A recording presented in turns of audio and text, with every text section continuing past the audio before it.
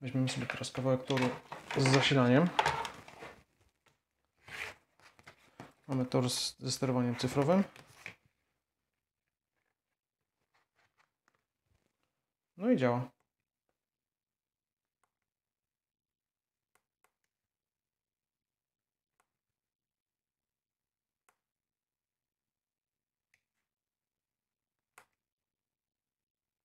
No i tyle.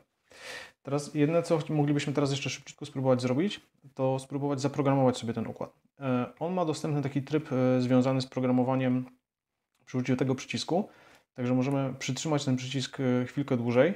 Ja to odczepię, żeby to było lepiej widać. Przyciśniemy go jeszcze raz. Teraz jesteśmy w trybie programowania. Klikamy sobie jedynkę, żeby wejść w możliwość ustawienia konkretnego presetu ustawień dotyczących tego, jakie światła będą wyświetlane po kliknięciu.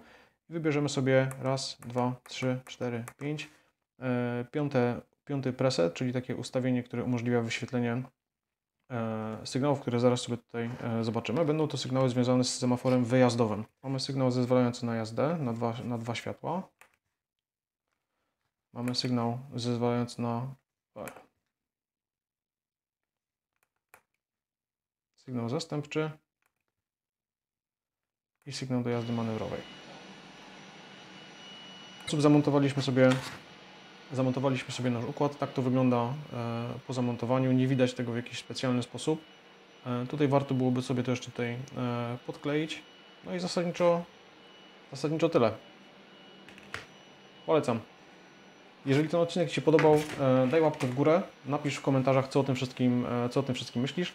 Układy są już dostępne e, w naszym sklepie, także zachęcam Cię do wypróbowania ich i do zobaczenia następnym razem. Cześć.